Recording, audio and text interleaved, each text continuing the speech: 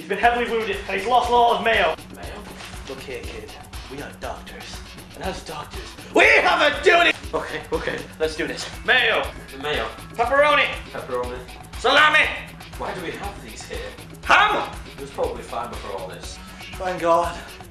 He's normalizing. What? He's waking up. It's going to be okay.